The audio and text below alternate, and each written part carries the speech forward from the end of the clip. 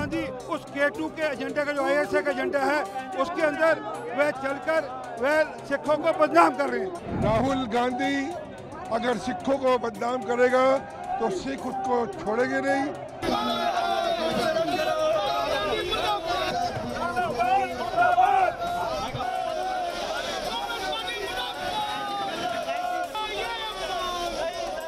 चल रहा है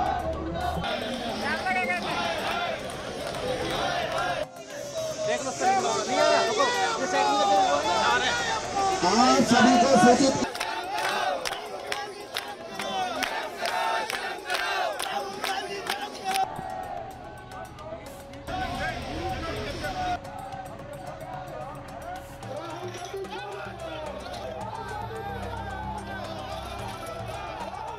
देखिए, सीधी सीधी बात है।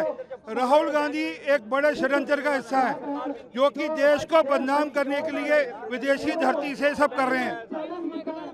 एक एक वो वो विदेशी धरती से ये सब कर रहे हैं। भारत को बदनाम करने की कोशिश करते हैं। मैंने कल कहा था कि यही बयान अलगाववादी यूज़ करेंगे। आज खालिस्तानी ने कहा कि हम तो कह रहे हैं कि भारत के अंदर सिखों को दिक्कत है। अब वह पूरी तय उम्र इस बात को कहेंगे कि लीडर ऑफ़ अपोजिशन सिखों के बारे में ये कह रहे थे। इसी प्रकार का बयान राहुल गांधी ने तब दिया था जब कश्मीर में तीन सौ सत्तर पैंतीस से हटाया गया था। और उस बयान का उपयोग इमरान खान ने यूएन में किया था। वह लगातार आज वह ऐलान उम्र से मिले हैं, जो कि भारत विरोधी है। ये आईएसए का एजेंडा है के टू का एजेंडा है। हमें अफसोस है कि राहुल गांधी उस के टू के एजेंडा का, जो आईएसए का एजेंडा है, उसके अंदर वह चलकर वह सिखों को बदनाम कर रहे हैं। राहुल गांधी अगर सिखों को बदनाम करेगा तो सिख उसको छोड़ेंगे नहीं।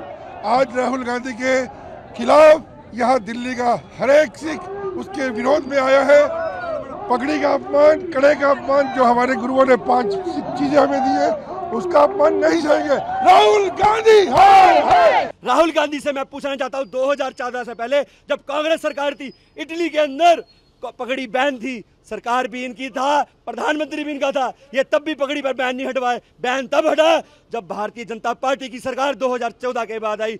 तो उन्नीस में जब इन्होंने विभाजन विभीषिका करा, तब भी सिखों के साथ इन्होंने कतलेआम करा। इतिहास गब है कि ये गद्दार हैं।